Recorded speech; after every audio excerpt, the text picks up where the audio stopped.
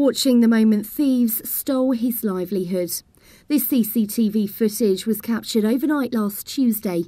Burglars clearing almost a whole container in an hour and a half, making off with £19,000 of equipment that tree surgeon Roger Norton needs to do his job. Everything I've got is gone, or everything I had is gone. It's taken years to build all that equipment up. But when I look back at the CCTV and you just see them just chucking it in as if it's worthless and how casual they are about it, yeah, it just fills you full of anger. There's no other real way to explain it. They don't understand the, the implications it has on people, how it makes you feel. After something like this has happened, you've got no motivation, you don't really want to eat, it just makes you feel down. It's horrible. The 26 year old's equipment was stored in a shipping container on land close to where he lives in Wramplingham. Thieves used an angle grinder to break in, and chainsaws, leaf blowers, lubricants, and fuel were amongst the items taken. Some of the equipment was uninsured, and he's had to put a number of subcontractors out of work. I've had to let a lot of customers down. I've booked a lot of subcontractors up, which I've now had to cancel. So, yeah, it's had a knock on effect all round.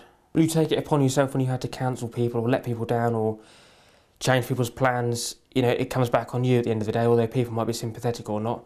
You can't just brush it on to somebody else. You feel you have to take the blame for it. So, yeah, it does get to you, innit? Rogers asking people to be wary if they're offered chainsaws or other tools on the cheap and has warned that some of the stolen equipment can be tracked. It's dangerous equipment. You have to have a license to buy it. It's only supposed to be used for aerial use.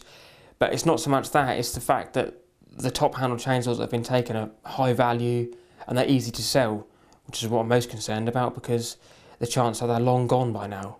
But if somebody buys it, if they go and try and get parts for it, it's identifiable, it's got a serial number. I've got all the serial numbers, the police have got all the serial numbers. Um, it can certainly all be traced.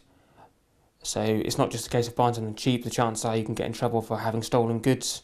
Roger has managed to continue working, but now he's calling for anyone with information to contact police on 101 to help catch the thieves who have devastated the business he's worked hard for six years to build. Christina Brinkley, Mustard TV, Wramplingham.